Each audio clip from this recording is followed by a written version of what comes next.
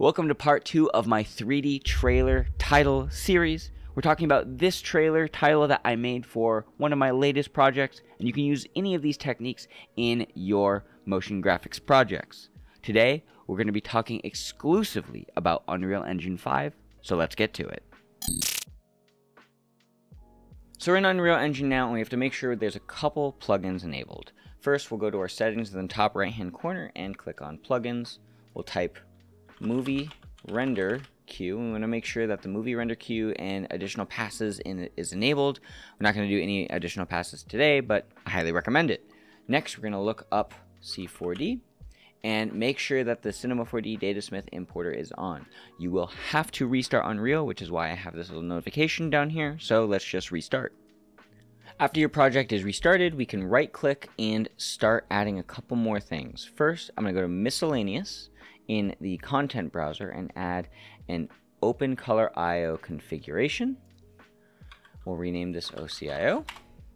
Double click on that. This window will pop up.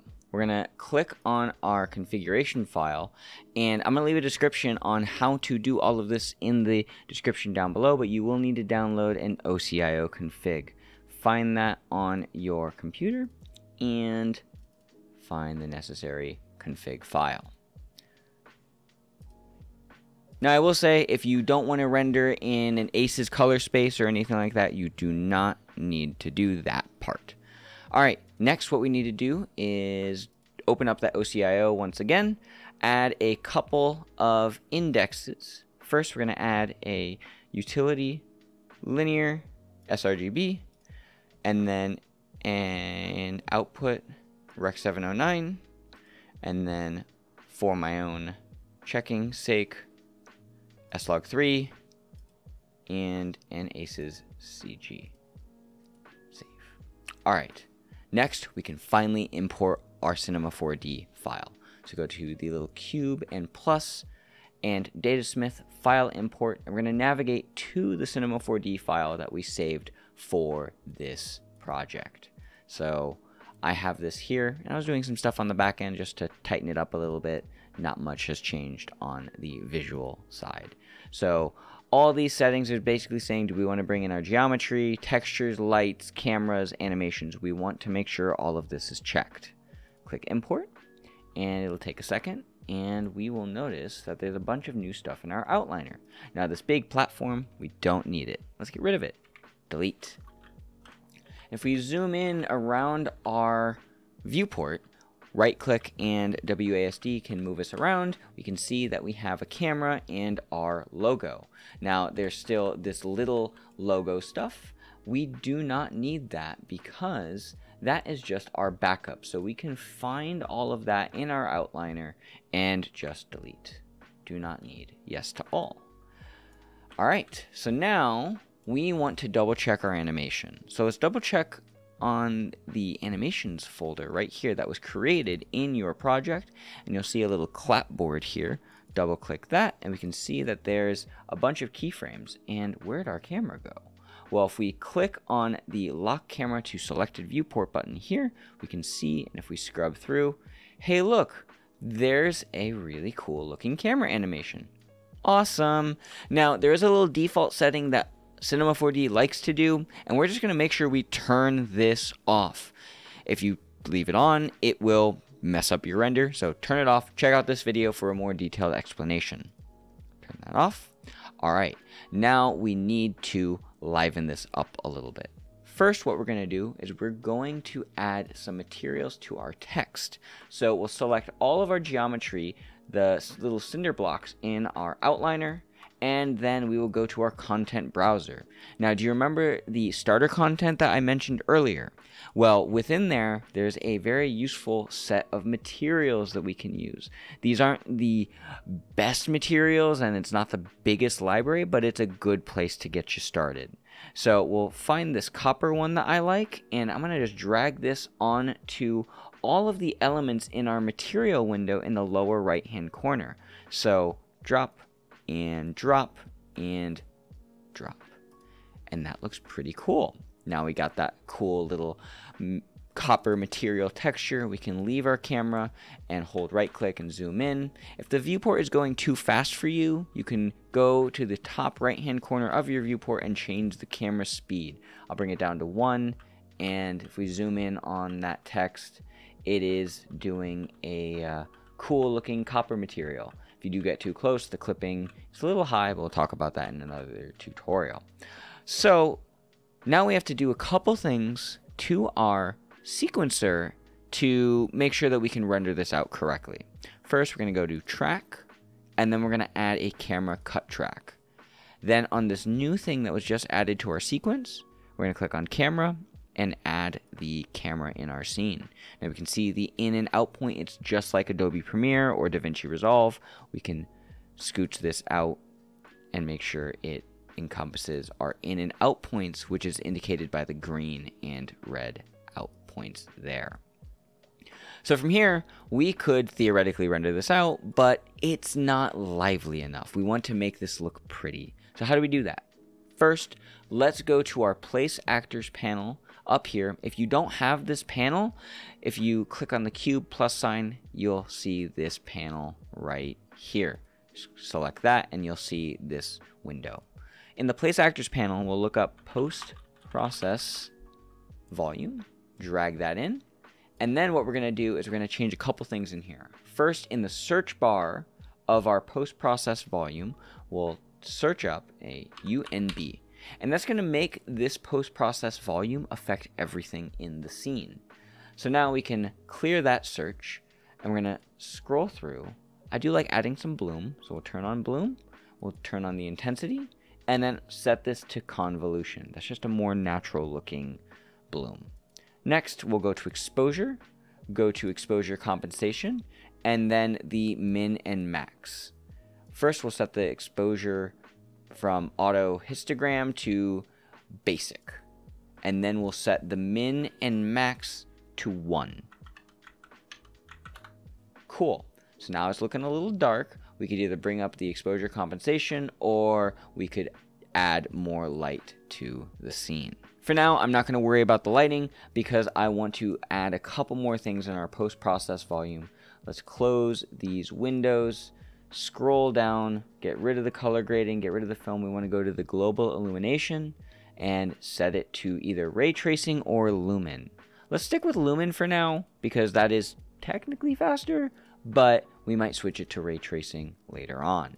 Same thing with reflections, turn that on, and lumen is fine.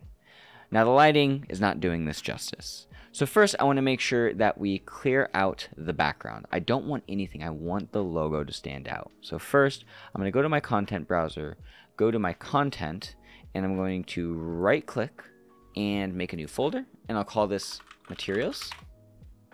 Double click, right click, and then I'm going to add a new material. We'll call this black material.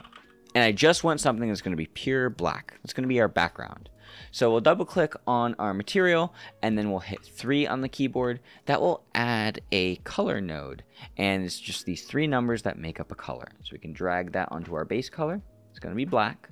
Then we'll hold 1 on the keyboard and this will make a number. And this is just a constant value. We can add this to the specular and add this to the roughness. So add one more there and that is what I want just something pure black. Now, what I'm going to do is I'm going to right click on the first node, convert to parameter, I'll call this color. I'll right click on the second node, I'll call this specular, and I'll right click on the third node and I'll call this roughness. Ooh. And then I will close this after I save it. Once that's saved, we can close it and then we will right click on that black material and click on create material instance. So I'll make a procedural copy of it for later. In our place actors panel, we'll clear out the search, we'll go to our basic shapes, and we'll add a plane, and we will zero this out. So we'll scroll up to the properties of our plane in the transform, we'll hit the little reset arrow right here, and then we're going to rotate it. So we'll hit E on the keyboard and then bring it down. So we're getting the background there. Make sure it's at 90. And we'll set the scale to 10, 10, 10. We'll add the black material instance onto that. And then we're going to leave our camera by unchecking the lock viewport button there. I just want to push this back in the scene just a little bit. Cool. In fact, I think this is still a little too small. I'm going to set this to 20, 20, 20. Cool. All right, so now if we click on perspective and then camera, we can see through our camera, it's still falling a little flat. We need to light our logo now. This is where it starts to get fun. So what we're to do is we're to click on the lights section of our place actors panel and we're to add a rectangular light. This is my favorite light for stuff like this because it allows you to really paint light around the scene. So we're to click on the little eject button from the camera and we can see that our light is illuminating a little bit of our scene. And what I'm to do is I'm to put this just above. In fact, directly above. Boop. Set the X to zero. And then I'm going to make it much wider. Actually, I'm going to make it much taller. I just want it covering the entire top of it. Now, at this point, it is a little subjective, and I'm deviating from what I did for the main logo animation just a little bit, but we're trying to just get the point across here.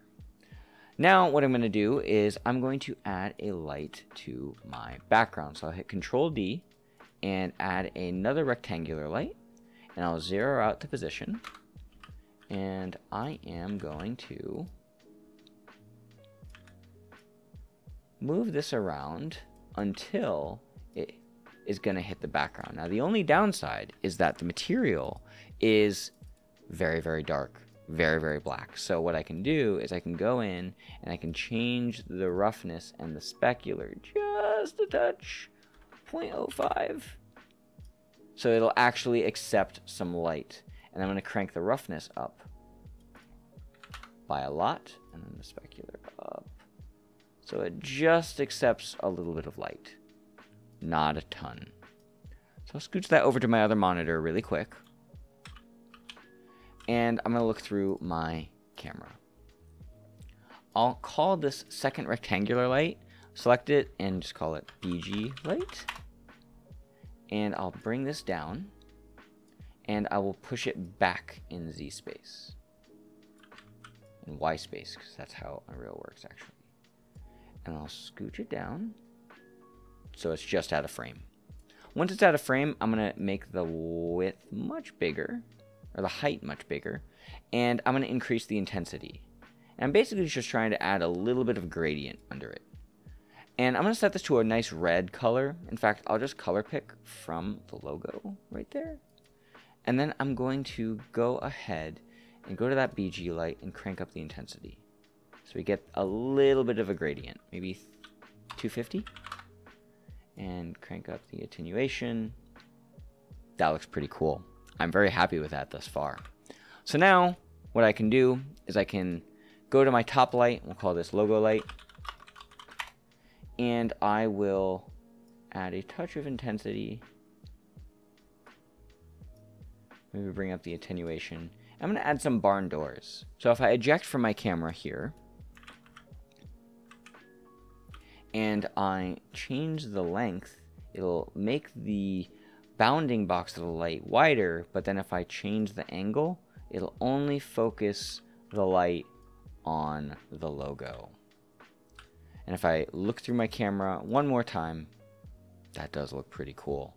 Now, the only thing I do want to change is I want to add another logo light. So I'll select that in my outliner and hit Control D and it does this weird thing when you duplicate it so we'll just zero it out on the X and then we will scooch it down on the Z and we're gonna flip it over and I'm going to bring the intensity down by a lot. I just want to add a little bit of fill under it. So if I go to my sequencer and I just scrub through, it'll reset my camera. And I want this light to just kiss the bottom.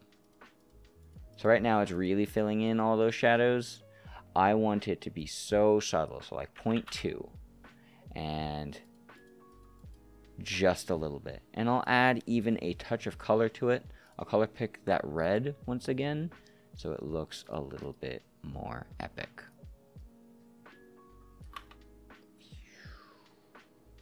That looks pretty cool. I'm stoked with that. Now, what I am going to do is I'm going to go to that background light and actually scooch it down so it's completely out of frame. I'm going to increase the intensity just a little bit to compensate for that move. We just, yeah, let's just crank it up even more. Boop.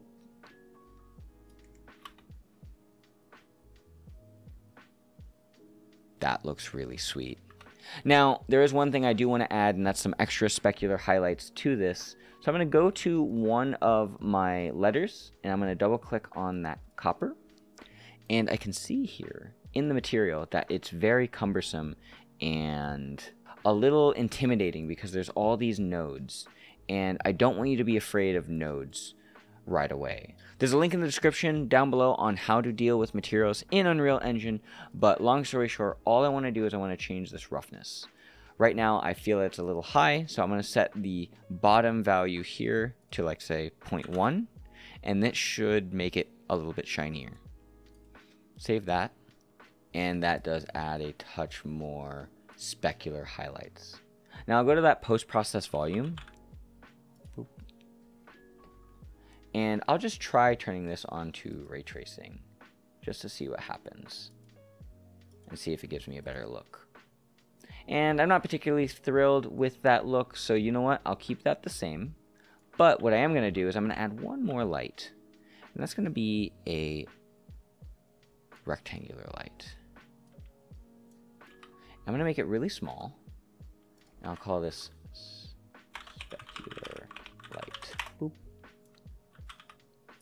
Boop.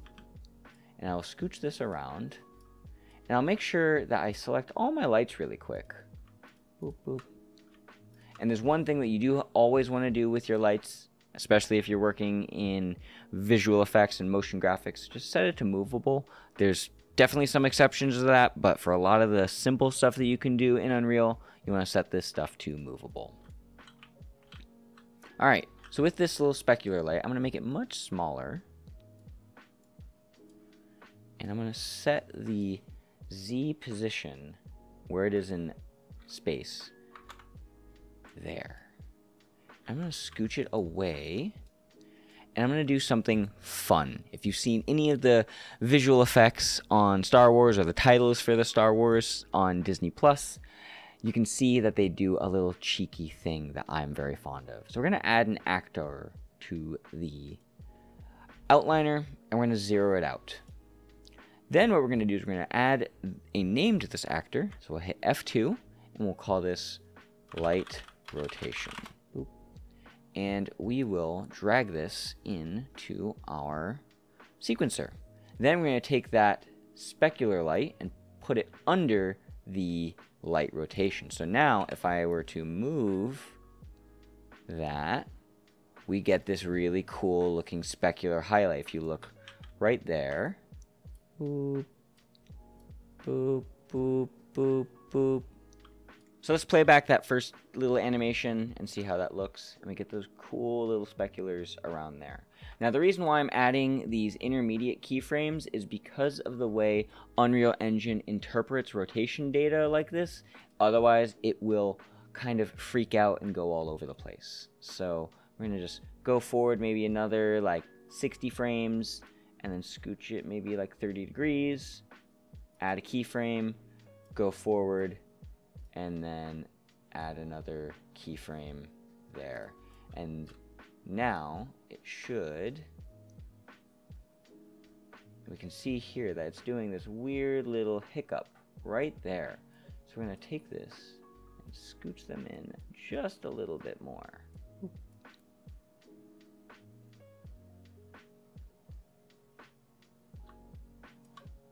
Can see if we select those curves, it's doing a weird thing. We don't like that. So instead, we're going to delete those. Just drag this curve down. There we go. That's what we want. So now, if we go through our camera, camera, play that back. That looks super cool. Now, there's a couple issues with this lighting right now, and that is because the logo background is actually accepting that specular light. And I actually don't want that to happen. I want it to just hit the type. So I'm going to select all of the blood rune letters and I'm going to scroll down to my lighting, light mask settings, advanced, and I'm to find my lighting channels. I'm to turn on channel 1. Then I'm to go to that specular light and I'm going to go to my channels and I can search that. I'm going to turn off 0 and then turn on 1. So now that specular light is only hitting the logo, which is super cool. Next, what I want to do is I want to make sure that the lens flares are not too crazy. So I'll select the post-process volume here, and I will go to my lens flare property, turn on the intensity, turn on the bokeh size, and I'm going to crank this value up to like 30. So now those lens flares, if any, will just be very, very subtle. Now, there's obviously some stuff appearing in our viewport, like the light controls. If we hit G on the keyboard, that'll turn it off. We can see what that looks like. Cool. Now, I'm not a huge fan of the way the light is rotating right now. So what I'm going to do is I'm going to go to my light rotation, go to my curves, I'm going to go to the end of my timeline, and I'm just going to scooch that keyframe way out there. And then select that. And I'm actually going to make it linear. So I can select all of my keyframes here and hit linear. So now, if I play that back, should be a little bit more subtle. Now I am realizing one little thing, and that's the blood rune rune text is actually a touch too far to the right. So I'm going to turn off my snapping by clicking on these buttons. Just scooch it over just a smudge. Just like that.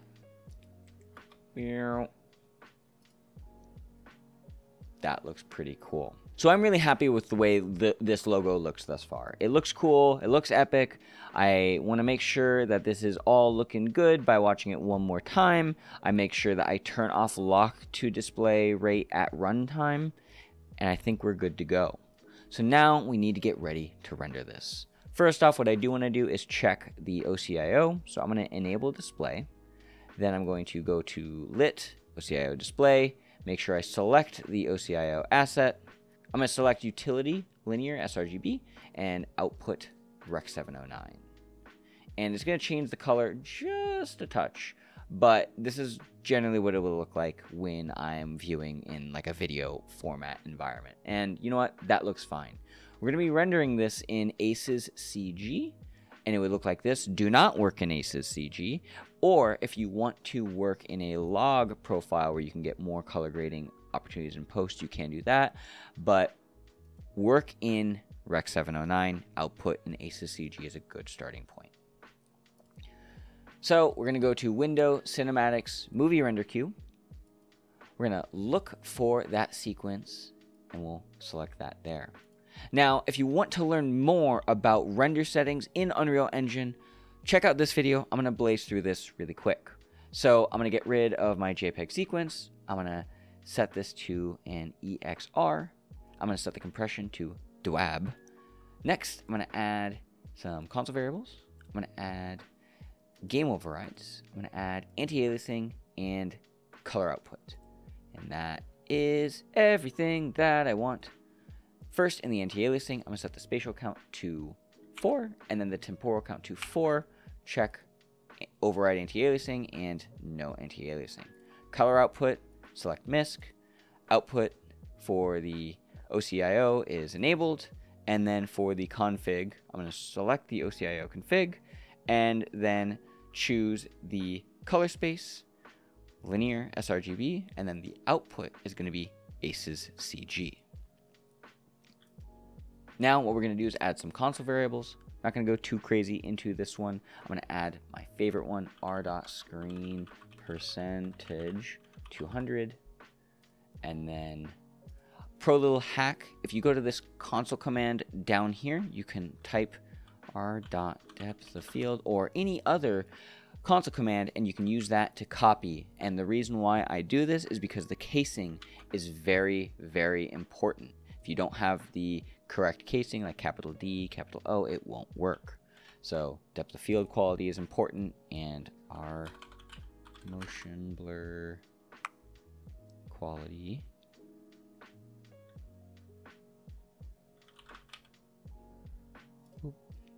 copy that. Add one. And set that to 4 accept. Cool and then I need to make sure I set my output space so I want this to be pre-renders go to my new folder UE5 underscore bloodroom logo tutorial. Double click that, put it in there, set it to 3840. Set it to 3840 by 2160. And then in my console variables, screen percentage 200%. Yep, that all looks good. Everything looks good to me. This is when we can start the render sequence. So I'll hit accept and then we are good to go. So we can hit render local and then it will go off and do its thing. So now this is rendering. I'm going to take a break, go make a snack, and this will be done in just a little bit. Again, just a reminder that if you add more samples, if you use the screen percentage console variable, your render time will go up by a lot, but this is still probably pretty fast relative to doing something in Redshift or Octane or whatever else. I realize that we talked a lot about many concepts in Unreal Engine 5, so if you have any questions on anything in particular, let me know in the comment section down below, and I will make a tutorial specifically for you on said concept at some point. With that out of the way, I hope you learned something. If you did, awesome. Hit that like button, it lets me know that I'm making content that is valuable to you and the algorithm. Hit that subscribe button and you can join the party and learn more motion graphics things on Unreal Engine, After Effects, Cinema 4D from me.